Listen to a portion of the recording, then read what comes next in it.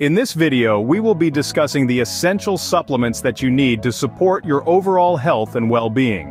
Whether you are looking to improve your immune system, boost your energy levels, or enhance your workout performance, these supplements are a must-have in your daily routine. We will be covering a variety of supplements including vitamins, minerals, and herbal products that have been shown to have a positive impact on your health. From vitamin D and omega-3 fatty acids to probiotics and protein powders, we will help you navigate the world of supplements and choose the ones that are right for you. So if you have ever wondered which supplements you need to take, this video is for you.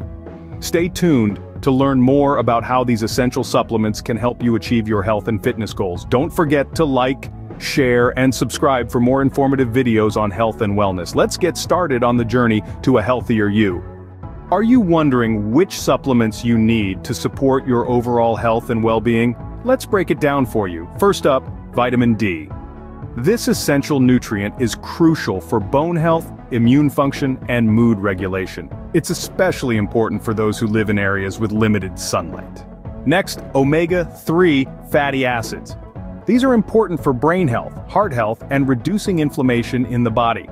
Consider adding a fish oil supplement to your routine. Probiotics are another key supplement to consider. These good bacteria support gut health, digestion, and immune function. Look for a high-quality probiotic with a variety of strains.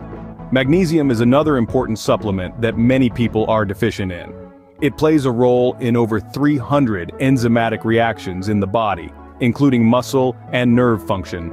Lastly, a high-quality multivitamin can help fill in any nutritional gaps in your diet. Look for one that contains a variety of vitamins and minerals to support your overall health.